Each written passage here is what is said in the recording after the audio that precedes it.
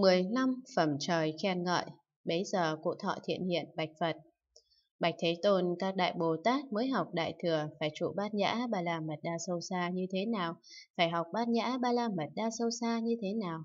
Phật dạy, này thiện hiện, các đại Bồ Tát mới học Đại Thừa, muốn trụ bát nhã ba la mật đa sâu xa, trước hết phải thân cận phụng sự cúng dường bạn lành chân tịnh. Người nào có thể giảng nói bát nhã ba la mật đa sâu xa, truyền trao cho các Bồ Tát nên biết đó là bạn lành chân tịnh nghĩa là giảng nói được bát nhã và làm mật đa sâu xa, dân dạy truyền trao cho các Bồ Tát mới học Đại Thừa và nói, Trẻ nam tử đến đây, người nên siêng tu bố thí, tịnh giới, an nhẫn, tinh tấn, tịnh lự, bát nhã, ba la mật đa. Khi người siêng năng tu tập, hãy lấy vô sở đắc làm phương tiện, cho các hữu tình một cách bình đẳng và cùng nhau hồi hướng quả vị vô thượng chánh đẳng Bồ Đà. Khi người hồi hướng, chớ đem sắc mà chấp quả vị vô thượng chánh đẳng Bồ Đà, chớ đem thọ tưởng hành thức mà chấp quả vị vô thượng chánh đẳng Bồ Đà. Vì sao? Thiện nam tử, vì nếu không có sự chấp thủ, tức là chứng đắc trí nhất thiết trí. Thiện nam tử, người đối với địa vị thành văn và độc giác chớ sành đắm trước. Như vậy thiện hiện, bạn lành chân tịnh gian dạy truyền trao cho các đại Bồ Tát mới học đại thừa, làm cho họ vào dần bát nhã ba la mật đa sâu xa. Khi ấy thiện hiện bạch Phật, Bạch Thế Tôn, các đại Bồ Tát làm những việc khó khăn, nên nương vào các tướng bố thí, tịnh giới, an nhẫn, tinh tấn, tịnh lự, bát nhã, ba la mật đa, hướng đến quả vị vô thượng chánh đẳng Bồ Đà. Họ không muốn tự tại mà chọn lấy sự diệt độ, quán sự khổ trầm trọng nơi cõi hữu tình để mau chứng quả vị vô thượng chánh đẳng Bồ Đà, vì muốn dùng phương tiện cứu giúp chúng sanh tận cùng trong tương lai, nên không sợ luân chuyển nơi đường sanh tử. Phật dạy. Này thiện hiện, đúng vậy, đúng vậy, các đại Bồ Tát có thể làm những việc khó làm, nghĩa là làm lợi lạc các thế gian, nên hướng đến quả vị vô thượng chánh đẳng Bồ Đề. Vì thương xót các hữu tình trong thế gian nên hướng đến quả vị vô thượng chánh đẳng Bồ Đề và phát nguyện. Ta vì cứu giúp các thế gian, vì các thế gian mà làm nhà cửa, vì các thế gian làm chỗ quay về nương tựa, chỉ cho thế gian con đường cứu cánh, vì các thế gian làm hòn đảo, vì các thế gian làm ánh sáng, vì các thế gian làm người dẫn đường, vì các thế gian làm chỗ đi đến. Phát tâm siêng năng tinh tấn hướng đến quả vị vô thượng chánh đẳng Bồ Đề. Thế nào là Đại Bồ Tát phát nguyện, ta vì cứu giúp các thế gian, nên phát tâm chuyên cần tinh tấn hướng đến quả vị vô thượng chánh đẳng Bồ Đề. Thiện hiện, Đại Bồ Tát thấy các thế gian trôi lăn trong đường sanh tử, chịu vô lượng khổ không thể ra khỏi, để chấm dứt sự khổ này, nên Bồ Tát phát tâm chuyên cần tinh tấn hướng đến quả vị vô thượng chánh đẳng Bồ Đà. Đó là Đại Bồ Tát phát nguyện. Tại vì cứu giúp các thế gian, nên phát tâm chuyên cần tinh tấn hướng đến quả vị vô thượng chánh đẳng Bồ Đà. Thế nào là Đại Bồ Tát vì các thế gian làm nhà cửa nên phát tâm chuyên cần tinh tấn hướng đến quả vị vô thượng chánh đẳng Bồ Đà? Thiện hiện, Đại Bồ Tát muốn vì thế gian nói tất cả Pháp đều không hòa hợp, nên phát tâm chuyên cần tinh tấn, hướng đến quả vị vô thượng chánh đẳng Bồ Đà. Đó là Đại Bồ Tát vì các thế gian làm nhà cửa, nên phát tâm chuyên cần tinh tấn, hướng đến quả vị vô thượng chánh đẳng Bồ Đà. Cụ thọ thiện hiện thưa, Bạch Thế Tôn thế nào là tất cả Pháp đều không hòa hợp? Phật dạy, này thiện hiện các sắc không hòa hợp, tức sắc không thuộc vào nhau. Nếu sắc không thuộc vào nhau, tức sắc không sanh diệt. Nếu sắc không sanh diệt, tức sắc không hòa hợp. Thọ tưởng hành thức cũng như vậy. Các đại Bồ Tát muốn vì thế gian nói tất cả Pháp đều có tướng không hòa hợp, nên phát tâm truyền cần tinh tấn hướng đến quả vị vô thượng chánh đẳng Bồ Đà.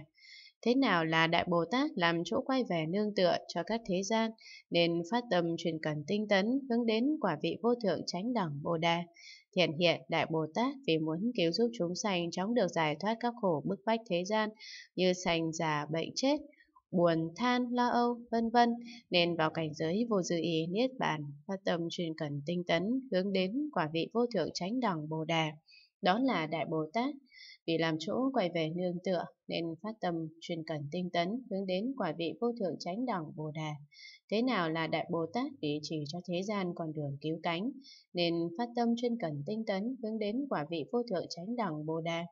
Thiện hiện Đại Bồ Tát vì muốn dạy cho thế gian pháp như thế này, nghĩa là bờ kia của sắc tức chẳng phải sắc, sắc của bờ kia cũng như vậy, Bờ kia của thọ tường hành thức tức chẳng phải thọ tường hành thức, như vậy thọ tưởng hành thức của bờ kia cũng như vậy.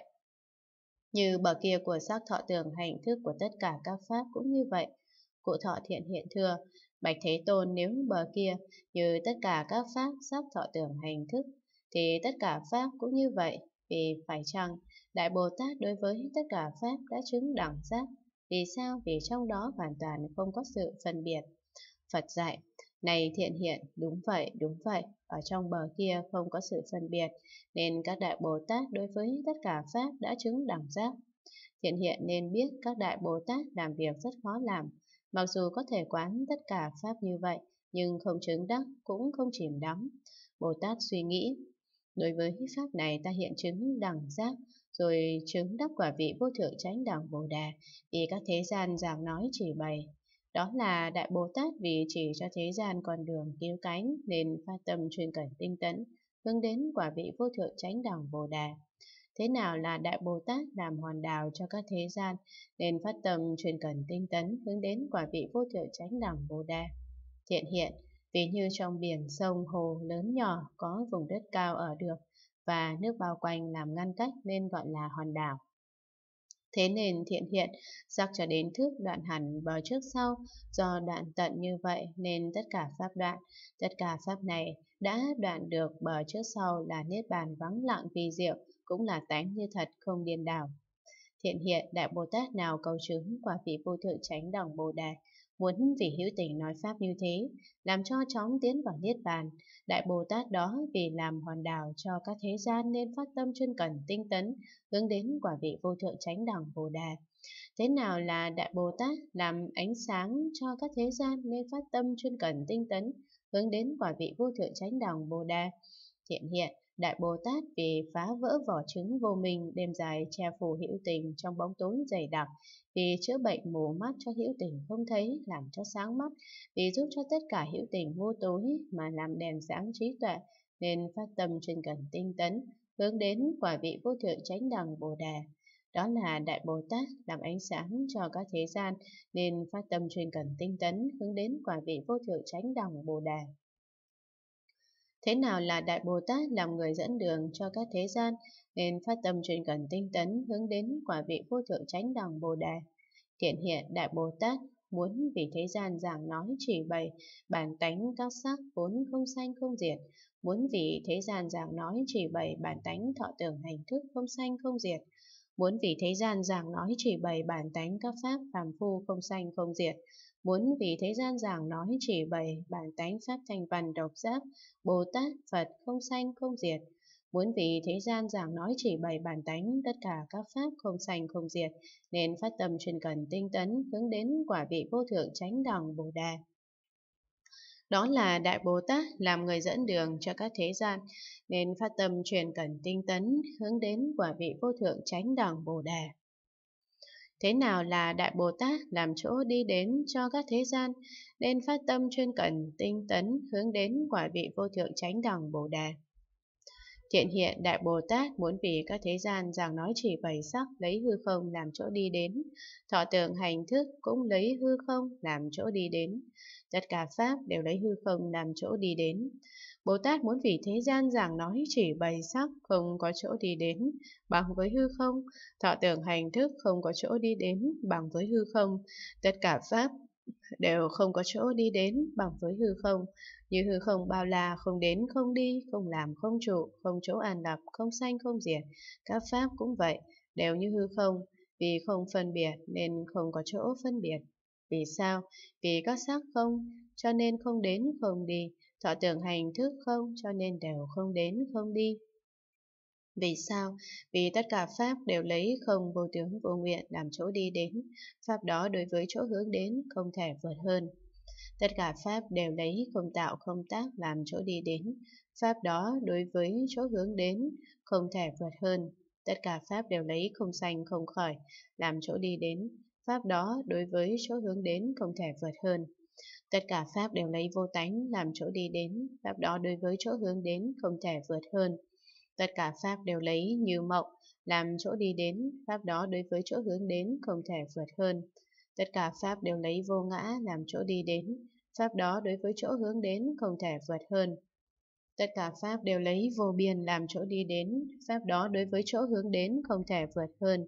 Tất cả pháp đều lấy niết bàn vắng lặng, không thủ, không xả, không đến, không đi, tuyệt đối tịch diệt làm chỗ đi đến, pháp đó đối với chỗ hướng đến không thể vượt hơn.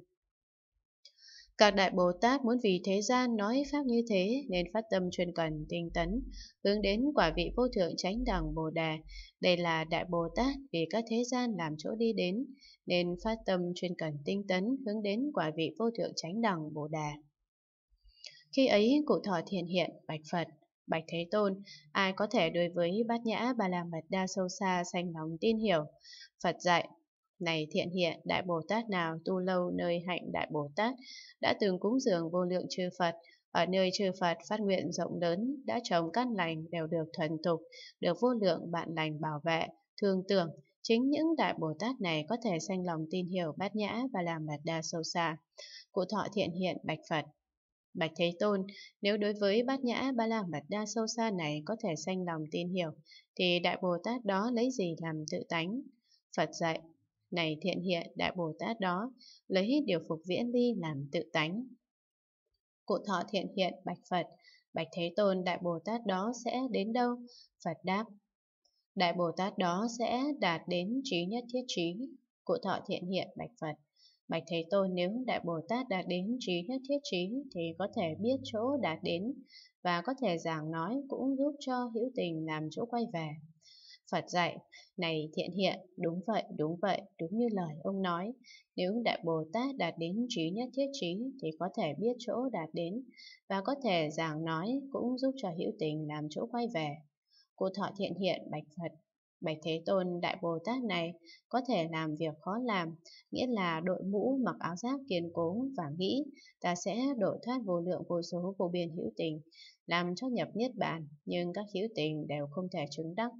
Phật dạy, này thiện hiện, đúng vậy, đúng vậy, đúng như lời ông nói. Này thiện hiện, Đại Bồ Tát đã đội mũ mặc áo giáp kiên cố, không thuộc sắc, không vì sắc, không thuộc thọ tưởng hành thức, không vì thọ tưởng hành thức, không thuộc thanh văn độc giác địa, không vì thanh văn độc giác địa, không thuộc Bồ Tát địa, không vì Bồ Tát địa, không thuộc Phật địa, không vì Phật địa. Vì sao? Vì tất cả Pháp đều không chỗ thuộc, đều không chỗ vì. Các đại Bồ Tát thực hành sâu xa, bát nhã, bà la mật đa đều mặc áo giáp đội mũ kiên cố như vậy. Cụ thọ thiện hiện bạch Phật, Bạch Thế Tôn nếu Đại Bồ Tát mặc áo giáp đội mũ kiên cố mà thực hành bát nhã ba la mật đa sâu xa, tức là đối với ba chỗ không bị vướng mắc. Ba chỗ ấy là những gì? Một là thanh văn địa, hai là độc giác địa, ba là như lai địa. Phật dạy. Này thiện hiện ông quán nghĩa nào mà nói như vậy? Thiện hiện bạch Phật. Bạch Thế Tôn bát nhã ba la mật đa sâu xa, không có sự trụ đắc, không kẻ tu tập, không có pháp để tu, không có thời gian tu, không nơi trốn tu, không do đây mà được tu tập. Vì sao? Vì chẳng phải trong bát nhã ba la mật đa nghĩa lý sâu xa, mà có ít phần pháp trần thật có thể được gọi là có khả năng tu tập. Bạch Thế Tôn nếu tu hư không là tu bát nhã ba la mật đa, nếu tu tất cả pháp là tu bát nhã ba la mật đa, nếu tu không đắm trước là tu bát nhã bà la mật đa. Nếu tu không sở hữu là tu bát nhã bà la mật đa. Nếu tu không hiếp thọ là tu bát nhã bà la mật đa. Nếu tu trừ bỏ pháp là tu bát nhã bà la mật đa. Phật dạy, này thiện hiện, đúng vậy, đúng vậy, đúng như lời ông nói. Này thiện hiện, nên nương vào bát nhã bà la mật đa sâu xa tối thắng này, hành trụ quan sát tại Bồ Tát bất thối chuyển. Đại Bồ Tát nào tuy thực hành bát nhã bà la mật đa sâu xa này, nhưng đối với bát nhã bà la mật đa sâu xa như vậy không có sự chấp trước, nên biết đó là Đại Bồ Tát bất thối chuyển. Này thiện hiện có các Đại Bồ Tát bất thối chuyển, không chấp lời người, và lấy lời dạy của người khác làm chân yếu, không chỉ tin người khác để có hành động nghe thuyết bát nhã ba la mật đa này. Tâm người ấy không kinh khiếp, không sợ hãi, không khủng hoảng, không chìm đắm, không nghi hối, cũng không mềm muội Đối với bát nhã ba la mật đa sâu xa, vui mừng muốn nghe hết lòng tin thọ, biên chép, giữ gìn, đọc tụng, suy nghĩ đúng lý, giảng nói cho mọi người không bao giờ lười mỏi. Nên biết Đại Bồ Tát Bất Thối Truyền này đời trước đã nghe rất nhiều nghĩa lý bát nhã ba la mật đa sâu xa. Vì sao?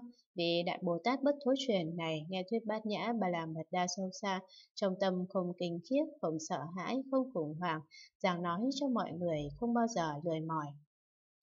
Cụ thọ thiện hiện bạch Phật Bạch Thế Tôn, nếu Đại Bồ Tát nghe nói bát nhã ba la mật đa sâu xa này, trong tâm không kinh khiếp, không sợ hãi, không khủng hoảng, nói rộng cho đến rằng nói cho mọi người không bao giờ lười mỏi, thì Đại Bồ Tát ấy làm sao tu hành bát nhã ba la mật đa sâu xa?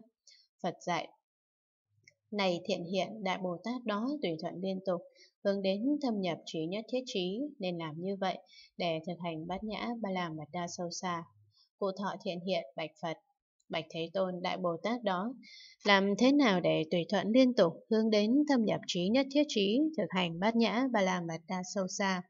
Phật dạy, này thiện hiện nếu Đại Bồ Tát tùy thuận liên tục hướng đến thâm nhập hư không mà thực hành bát nhã ba la mật đa sâu xa thì đó là Đại Bồ Tát tùy thuận liên tục hướng đến thâm nhập trí nhất thiết trí, thực hành bát nhã ba la mật đa sâu xa. Vì sao? Vì trí nhất thiết trí vô lượng vô biên. Nếu vô lượng vô biên tức chẳng phải sắc, chẳng phải thọ tưởng hành thức, không đắc, không hiện quán, không chứng, không đạo quả, không trí, không thức, không sanh, không diệt, không thành, không hoại, không bắt đầu, không chấm dứt, không tu, không tạo tác, không từ đâu đến, cũng chẳng về đâu. Không phường, không cõi, cũng không chỗ trụ, mới có thể là vô lượng vô biên. Thiện hiện nên biết, vì hư không vô lượng vô biên nên trí nhất thiết trí cũng vô lượng vô biên. Trí nhất thiết trí vô lượng vô biên nên không thể chứng đắc. Chẳng phải sắc có thể chứng, cũng chẳng phải thọ tưởng hành thức có thể chứng. Chẳng phải bố thí bà làm mật đa có thể chứng. Cũng chẳng phải tịnh giới, an nhẫn, tinh tấn, tịnh tự, bát nhã, bà làm mật đa có thể chứng. Vì sao? Vì sắc tức trí nhất thiết trí, thọ tưởng hành thức tức trí nhất thiết trí. Bố thí ba la mật đa, tức trí nhất thiết trí, tịnh giới nhàn nhẫn, tinh tấn, tịnh đợ bát nhã, ba la mật đa, tức trí nhất thiết trí.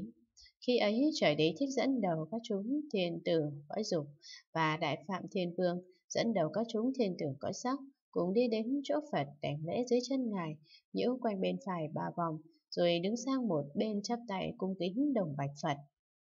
Bạch Thế Tôn bát nhã ba la mật đa này vô cùng sâu xa, khó thấy khó lường, Phật dạy các thiên tử, đúng vậy, đúng vậy, đúng như lời các ông đã nói. Thiên tử nên biết ta quan sát nghĩa này, khi mới chứng đắc quả vị vô thượng chánh đẳng Bồ Đà, ta ngồi lặng yên suy nghĩ, không muốn nói pháp, trong tâm nghĩ như thế này.